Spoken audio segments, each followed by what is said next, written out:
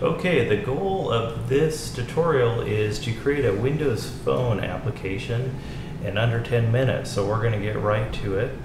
And I'm going to show you just really briefly some of the features of the Visual Studio, um, the integrated development environment. And what we see when it first comes up is a toolbox. And this contains all of the uh, different controls that are available to your disposal to design your screens with. And uh, there's buttons, ellipses, check boxes, images, all kinds of things that, uh, that we can use in, in, building our application. We've also got the Windows Phone Designer. Looks like a, a Windows Phone, and this is where we're going to build our screen. Over here we have the XAML, and uh, for this demonstration, we are going to go ahead and hide this panel. In a later tutorial, we can cover this more in depth, but for now, we're just writing a quick application, so let's hide that. And over here, we have our list of various um, assets that our project's comprised of. This app, XAML, for this tutorial, we're not going to worry about it, but we'll cover that in depth in a future tutorial. The page that we're currently going to be work on, working on is the main page XAML. So let's get started. The first thing that we'll see is by default, we have a screen with a couple of text blocks, and as you see right here, the text blocks and uh, the properties window here. So when I select it, we see all of the available properties for that text block.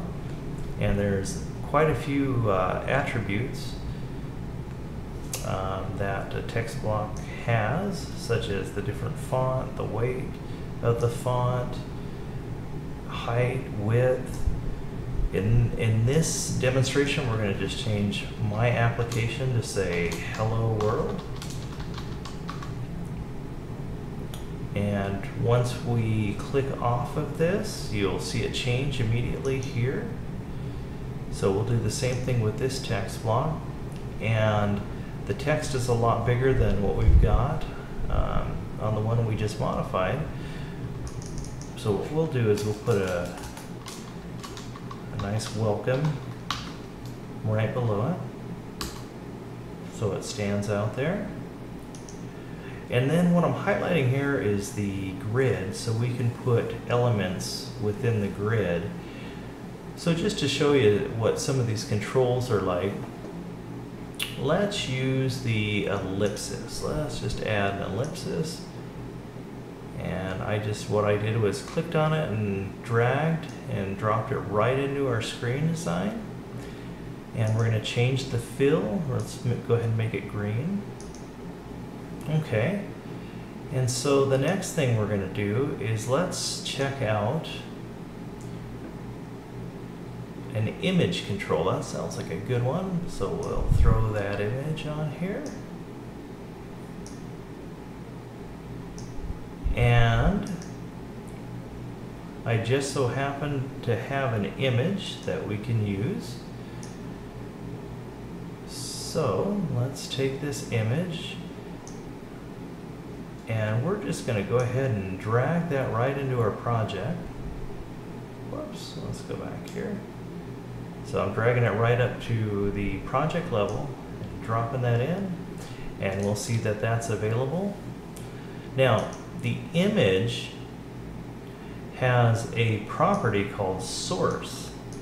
And this source is what tells uh, Silverlight which image to use. So let's go ahead and click my uh, Encouraging Games logo. Click OK. And as we can see it, it immediately becomes available here. So let's span it out. And now we're going to run this and see what it looks like. Okay, by clicking the start button there, it brings up the phone emulator. And uh, here is our splash screen that we just created. So it's really neat. This is the uh, the simulator actually has the um, the real Windows Phone operating system. If I go back, you'll see Explorer there. So if I click on that, it's just like uh, being on a real Windows Phone. So there you have it, our first uh, quick application for Windows Phone. I hope you've enjoyed this tutorial and we'll have some more to follow. Thanks.